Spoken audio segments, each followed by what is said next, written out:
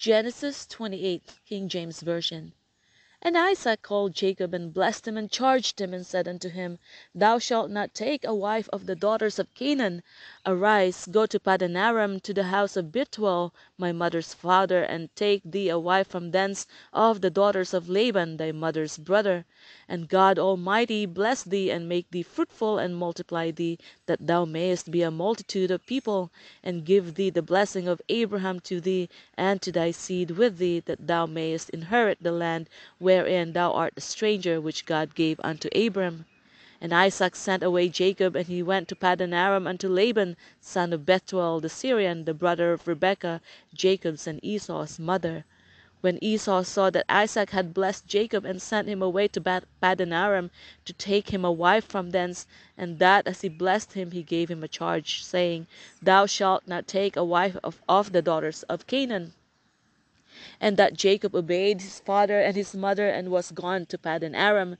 And Esau, seeing that the daughters of Canaan pleased not Isaac his father, then went Esau unto Ishmael, and took unto unto the wives which he had Mahalath, the daughter of Ishmael, Abraham's son, the sister of Nebajoth, to be his wife. And Jacob went out from Beersheba, and went toward Haran. And he lighted upon a certain place, and tarried there all night, because the sun was set. And he took of the stones of that place, and put them for his pillows, and lay down in that place to sleep.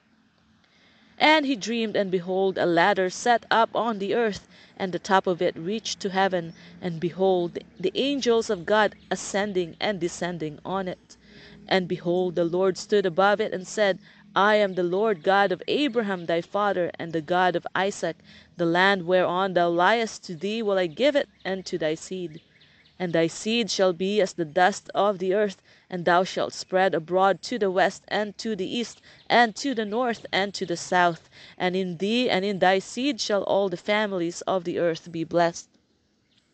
And behold, I am with thee, and will keep thee in all places whither thou goest, and will bring thee again into this land, for I will not leave thee until I have done that which I have spoken to thee of. And Jacob awaked out of his sleep, and he said, Surely the Lord is in this place, and I knew it not. And he was afraid, and said, How dreadful is this place! This is none other than the house of God, and is the gate of heaven. And Jacob rose up early in the morning, and took the stone that he had put for his pillows, and set it up for a pillar, and poured oil upon the top of it. And he called the name of that place Bethel, but the name of that city was called Luz at the first. And Jacob vowed a vow.